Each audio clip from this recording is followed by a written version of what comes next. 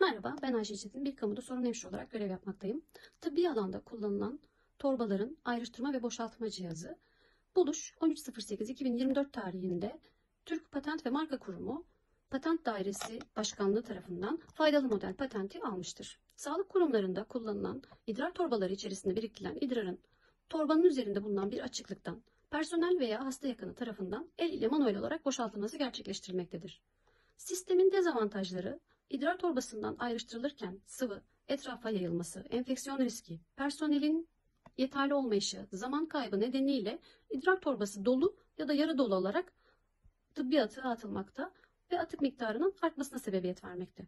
Buradan hareketle özellikle tıbbi atık miktarının azaltılmasına katkı sağlamak, tıbbi atık için ödenek maliyetini azaltmak, klinik koşullarında ortaya çıkacak enfeksiyon riskini azaltmak, personelin iş gücü kaybını azaltarak zaman tasarrufu sağlamak amacıyla tasarlanmış bir cihazdır. Cihaz kullanıcı tarafından kullanımı pratik ve kolaydır. Kapalı bir sistem olması sebebiyle koku izolasyonu, sıvının etrafa bulaş riskini, enfeksiyon riskini en aza indirgemektedir.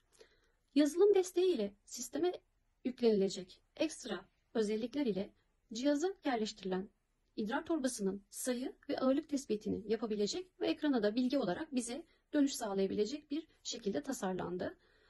Aynı zamanda geniş bir yelpazeye sahip olan cihaz farklı ebatlarda istenilen ebatlarda üretilebilecek şekilde tasarlanmıştır. Cihazın aktif kullanımıyla tıbbi atık miktarının azaltılması, tıbbi atık ödenek miktarının ciddi anlamda azaltılması, ülke ekonomisine ve kurum ve kuruluşlara, sağlık ekonomisine olumlu katkısı sağlayacağını düşünmekteyiz. Beni dinlediğiniz için teşekkür ederim.